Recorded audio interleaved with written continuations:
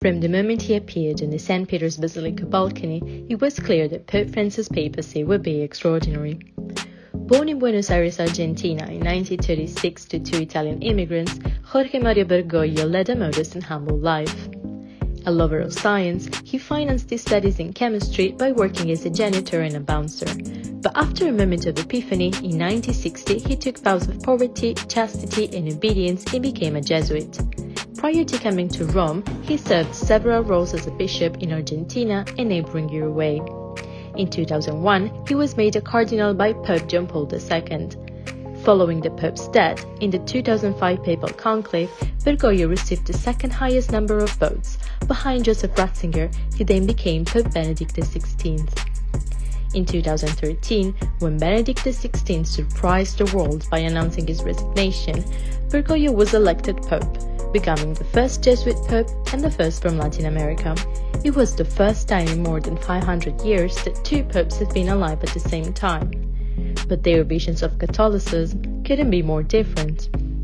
Pope Francis made it immediately clear he aimed to build a church for modern people in modern times. In 2016, he became the first pontiff to say Catholics who are divorced or remarried are not excommunicated and should not feel discriminated against. In 2018, Pope Francis formally allowed women to administer communion and serve at the altar. He said women were making a precious contribution to the Catholic Church and should be more actively involved. More recently, he baked same-sex civil union and LGBT rights, saying homosexuals have a right to be in a family and calling for governments worldwide to create civil union laws. He also appointed the first African American cardinal and reshaped the College of Cardinals, making it less white and less Italian. In 2019, Pope Francis became the first pontiff to visit the Arabian Peninsula.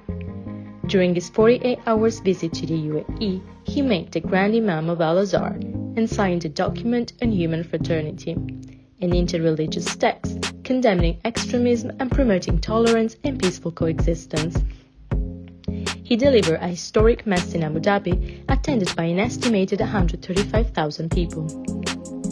In December 2020, despite the COVID pandemic, Pope Francis announced another historic visit, this time to Iraq. He will be the first Catholic Pope to visit the country and to meet Shiite leader Grand Ayatollah Ali al Sistani.